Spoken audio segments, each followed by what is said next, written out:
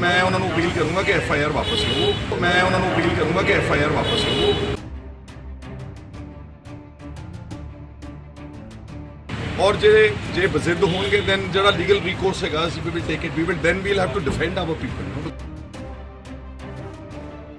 Sukhpal Khaira ਨੇ ਇਸ ਵਾਰ ਸਿੱਧੇ ਤੌਰ ਤੇ ਭਗਵੰਤ ਮਾਨ ਨੂੰ ਵੰਗਾਰਿਆ।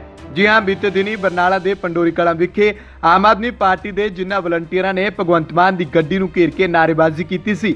ਉਹਨਾਂ ਤੇ ਪੁਲਿਸ ਵੱਲੋਂ ਪਰਚਾ ਦਰਜ ਕੀਤੇ ਜਾਣ ਤੋਂ ਬਾਅਦ ਸੁਖਪਾਲ ਖਹਿਰਾ ਇਹਨਾਂ ਵਲੰਟੀਅਰਾਂ ਦੇ ਹੱਕ ਵਿੱਚ ਆਣ ਖਲੋਤੇ ਨੇ। ਇਸ ਸਬੰਧ 'ਚ ਪਿੰਡ ਮਹਿਲ ਕਲਾਂ ਪਹੁੰਚੇ ਸੁਖਪਾਲ ਖਹਿਰਾ ਨੇ ਸੰਸਦ ਮੈਂਬਰ ਭਗਵੰਤ ਮਾਨ ਨੂੰ ਵਲੰਟੀਅਰਾਂ ਤੇ ਦਰਜ ਕਰਵਾਇਆ ਕੇਸ ਵਾਪਸ ਲੈਣ ਦੀ ਅਪੀਲ ਕੀਤੀ ਹੈ। ਉਹਨਾਂ ਕਿਹਾ ਕਿ ਜੇਕਰ ਭਗਵੰਤ ਮਾਨ ਇਹ ਕੇਸ ਵਾਪਸ ਨਹੀਂ ਲੈਂਦੇ, ਤਾਂ ਮਜਬੂਰ ਹੋ ਕੇ ਉਹਨਾਂ ਨੂੰ ਆਮ ਆਦਮੀ ਪਾਰਟੀ ਦੇ ਵਲੰਟੀਅਰਾਂ ਦਾ ਸਾਥ ਦੇਣਾ ਪਵੇਗਾ। ਫਿਰ ਭਾਵੇਂ ਇਸ ਸਬੰਧ ਵਿੱਚ ਭਗਵੰਤ ਮਾਨ ਦੇ ਵਿਰੁੱਧ ਕਾਨੂੰਨੀ ਲੜਾਈ ਕਿਉਂ ਨਾ ਲੜਨੀ ਪਵੇ। ਭਗਵੰਤ ਸਿੰਘ ਮਾਨ ਨੂੰ ਮੈਂਬਰ ਪਾਰਲੀਮੈਂਟ ਬਣਾਇਆ। ਜਦੋਂ ਆਪਾਂ ਉਹਨਾਂ ਨੂੰ ਝੇਡਾਂ ਕਰਾਂਗੇ ਉਹਨਾਂ ਵਰਕਰਾਂ ਨੂੰ ਕਵਾਂਗੇ ਕਿ ਆਰਐਸਐਸ ਦੇ ਏਜੰਟ ਆ, ਇਹ ਸੁਭਾਵਕ ਹੈ ਕਿ ਉਹਨਾਂ ਦੇ ਮਨ ਵਿੱਚ ਗਿਲਾ ਸੀਗਾ। ਔਰ ਉਹ ਇਸ ਦਾ ਸਪਸ਼ਟੀਕਰਨ ਲੈਣ ਗਏ ਸੀ। ਅੱਜ ਸਾਰਿਆਂ ਨੇ ਮੈਨੂੰ ਡਿਟੇਲਸ ਦੱਸੀ ਆ। ਤਾਂ ਮੈਂ ਸਮਝਦਾ ਕਿ ਮਾਨ ਸਾਹਿਬ ਨੂੰ ਐਫ ਆਈ ਆਰ ਨਹੀਂ ਦਰਜ ਕਰਾਉਣੀ ਚਾਹੀਦੀ ਸੀ। ਇਹ- ਇਹ ਸ਼ੁਭਦਾ ਨਹੀਂਗਾ ਕਿਉਂਕਿ ਇੱਕ ਪਾਸੇ ਉਹ ਕਹਿੰਦੇ ਕਿ ਮੈਂ ਅਰਵਿੰਦ ਕੇਜਰੀਵਾਲ ਹੋਣਾ ਦਾ ਸਿਪਾਹੀ ਆ। ਅਰਵਿੰਦ ਕੇਜਰੀਵਾਲ ਤੇ ਜਦੋਂ ਹਮਲਾ ਹੋਇਆ, ਥੱਪੜ ਮਾਰੇ ਸੀ ਕਿਸੇ ਨੇ ਦਿੱਲੀ ਦੇ ਵਿੱਚ ਜਾਂ ਕੋਈ ਸ਼ਾਹੀ ਸੁੱਟੀ ਸੀਗੀ, ਉਹ ਉਹਨਾਂ ਦੇ ਘਰ ਵਿੱਚ ਜਾਂਦੇ ਸੀਗੇ ਕਿ ਦੱਸੋ ਤੁਹਾਡੀ ਤਕਲੀਫ ਕੀ ਹੈ ਮੈਂ ਤੁਹਾਡਾ ਦੁੱਖ ਦੂਰ ਕਰਨ ਨੂੰ ਆਇਆ, ਮੈਂ ਤੁਹਾਡੀ ਗੱਲ ਸੁਣਨ ਆਇਆ। ਸੋ ਮਾਨ ਸਾਹਿਬ ਨੂੰ ਇਹਨਾਂ ਨਾਲ ਖੜ ਕੇ ਗੱਲ ਕਰਨੀ ਚਾਹੀਦੀ ਸੀ ਬਜਾਏ ਕਿ ਆਪਾਂ ਐਫ ਆਈ ਆਰ ਦਰਜ ਕਰਾਈਏ। ਔਰ ਮੈਨੂੰ ਪੂਰਨ ਆਸ ਹੈ ਕਿ ਉਹ ਐਫ ਆਈ ਆਰ ਵਾਪਸ ਲੈਣ ਉਹ ਇਹ ਕਹਿੰਦੇ ਕਿ ਐਫ ਆਈ ਆਰ ਮੇਰੇ ਸਿਕਿਉਰਿਟੀ ਵਾਲਿਆਂ ਨੇ ਕਰਾਤੀ। ਦੇਖੋ ਮੇਰਾ ਕੋਈ ਸਟਾਫ ਦਾ ਮੈਂਬਰ ਮੇਰੇ ਤੋਂ ਬਗੈਰ ਪੁੱਛੋ ਕੋਈ ਐਫ ਆਈ ਆਰ ਦਰਜ ਕਰਾ ਸਕਦਾ। ਨਾਲੇ ਸਿਕਿਉਰਿਟੀ ਵਾਲਾਂ ਦੀ ਇਹਨਾਂ ਨਾਲ ਕੀ ਰੰਜਿਸ਼ ਹੈ? ਐਫ ਆਈ ਆਰ ਵਾਸਤੇ ਹੁਣ ਕੁਝ ਅੱਗੇ ਹੋ ਰਿਹਾ ਕਿ ਮੈਨੂੰ- ਸਾਹਿਬ ਵੱਲੋਂ ਕੀ ਬਾਤ ਦੇਖੋ ਮੈਂ ਉਹਨਾਂ ਨੂੰ ਅਪੀਲ ਕਰੂੰਗਾ ਕਿ ਐਫ ਆਈ ਆਰ ਵਾਪਸ ਲਵੋ। ਔਰ ਜੇ ਜੇ ਬਜ਼ਿੱਦ ਹੋਣਗੇ ਦੈਨ ਜਿਹੜਾ ਲੀਗਲ recourse ਹੈਗਾ ਅਸੀਂ we will take it we will then we'll have to defend our people you know because ਇਹ ਜਸਟੀਫਾਈਡ ਨਹੀਂ ਹੈ ਮਾਨ ਸਾਹਿਬ ਬਰਗਾੜੀ ਇੱਕ ਮਾਨ ਸਾਹਿਬ ਚੋਣਾਂ ਤੋਂ ਪਹਿਲਾਂ ਬਹੁਤ ਗੱਲਾਂ ਕਰਦੇ ਸੀ ਸਿਕਿਉਰਿਟੀ ਤੋਂ ਲੈ ਕੇ ਬੱਤੀਆਂ ਤੋਂ ਲੈ ਕੇ।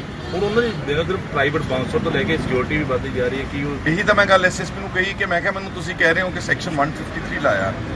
ਉਹ 153 ਧਾਰਾ ਹੁੰਦੀ ਕਿ obstruction in government discharging official duty ਮੈਂ ਕਿਹਾ ਆਫੀਸ਼ੀਅਲ ਕਿਹੜਾ ਸੀਗਾ ਉੱਥੇ? ਸਰਕਾਰੀ ਡਿਊਟੀ ਕਿਹੜੀ ਉੱਥੇ ਹੋ ਰਹੀ ਸੀਗੀ? ਉਹ ਤਾਂ ਮੈਂ ਕਿਹਾ ਮੈਨੂੰ ਜਿੰਨੇ ਕੁ ਮੈਂ ਵੀਡੀਓ ਦੇਖੀ ਹੈ ਉਹ ਤਾਂ ਬਾਉਂਸਰਸ ਨੇ। ਪ੍ਰਾਈਵੇਟ ਯੂਨੀਫਾਰਮ ਵਿੱਚ how how would the people of Barnala ਨੂੰ ਕਿ ਕੌਣ ਪੁਲਿਸ ਵਾਲਾ ਵਾ ਤੇ ਕੌਣ ਜਦ ਤੱਕ ਤੁਸੀਂ ਪ੍ਰੋਪਰ ਪੁਲਿਸ ਯੂਨੀਫਾਰਮ ਵਿੱਚ ਨਹੀਂ ਨਾਲ ਲੈ ਕੇ ਜਾਂਦੇ ਬੰਦੇ? ਸੋ ਬਾਕੀ ਜਿਹੜਾ ਕੋਈ ਉਹਨਾਂ ਨੇ ਗੱਡੀਆਂ ਲਈਆਂ ਸਿਕਿਉਰਿਟੀ ਇਹਦਾ ਜਵਾਬ ਦੇ ਦਿਓ ਆਪ ਨੇ। ਖਹਿਰਾ ਸਾਹਿਬ ਭਗਵੰਤ ਮਾਨ ਨੇ ਕਿਹਾ ਵੀ ਜਿਹੜਾ ਪਰਚਾ ਹੋਇਆ ਉਹਦੇ ਚ ਮੇਰਾ ਕੋਈ ਰੋਲ ਨਹੀਂ। ਜਿਹੜਾ ਖਹਿਰਾ ਸਾਹਿਬ ਨੇ ਗਲਤ ਕਿਹਾ ਵੀ ਮੈਂ ਆਪਣੇ ਮੁਲਾਜ਼ਮਾਂ ਦੇ ਥਰੂ ਪਰਚਾ ਕਰਵਾਇਆ। ਮੈਂ ਨਹੀਂ ਕਹਿ ਰਿਹਾ ਜੀ ਮੈਂ ਨਹੀਂ ਕਹਿ ਰਿਹਾ। ਮੇਰੇ ਖਿਆਲ ਇਹ ਦੱਸ ਰਹੇ ਸੀ ਮੈਨੂੰ ਕਿ ਐਫ ਆਈ ਆਰ ਵਿੱਚ ਸ਼ਾਇਦ ਭਗਵੰਤ ਮਾਨ ਦਾ ਜ਼ਿਕਰ ਹੈ ਅੱਛਾ ਜੀ। ਔਰ ਐਫ ਆਈ ਆਰ ਜਦੋਂ ਕੋਈ ਮੇਰਾ ਸਟਾਫ ਦਾ ਮੈਂਬਰ ਕਹੂੰ ਮੈਂ ਹੀ ਰਿਸਪੌਂਸਿਬਲ ਹਾਂ ਇਹਨੂੰ ਆਪਾਂ ਜਿੰਨਾ ਮਰਜ਼ੀ ਡਰਾਇਆ ਕਰੀਏ। ਖੈਰ ਆਮ ਆਦਮੀ ਪਾਰਟੀ ਦੇ ਵਲੰਟੀਅਰਾਂ ਤੇ ਹੋਇਆ ਪਰਚਾ ਰੱਦ ਕਰਵਾਉਣ ਦੇ ਲਈ ਸੁਖਪਾਲ ਖਹਿਰਾ ਮੈਦਾਨ ਵਿੱਚ ਆ ਗਏ ਨੇ। ਹੁਣ ਵੇਖਣਾ ਇਹ ਹੋਵੇਗਾ ਕਿ ਭਗਵੰਤ ਮਾਨ ਸੁਖਪਾਲ ਖਹਿਰਾ ਦੇ ਇਸ ਬਿਆਨ ਤੇ ਕੀ ਪ੍ਰਤੀਕਿਰਿਆ ਦਿੰਦੇ ਨੇ। Bureau report D5 channel Punjabi. ਕੀ ਤੁਹਾਨੂੰ ਨਜ਼ਰ ਦੀ ਲੱਗੀ ਹੋਈ ਹੈ ਐਨਕ? ਕੀ ਤੁਹਾਡੀ ਐਨਕ ਦਾ ਨੰਬਰ ਵਾਰ-ਵਾਰ ਵੱਧ ਰਿਹਾ ਕਾਲਾ ਮੋਤੀਆ, ਅੱਖਾਂ ਦੇ ਪਰਦੇ ਖਰਾਬ ਜਾਂ ਅੱਖਾਂ ਦੇ ਆਪਰੇਸ਼ਨ ਤੋਂ ਬਾਅਦ ਵੀ ਤੁਹਾਡੀਆਂ ਅੱਖਾਂ ਦੀ ਰੋਸ਼ਨੀ ਦਿਨੋ-ਦਿਨ ਘਟਦੀ ਜਾ ਰਹੀ ਹੈ।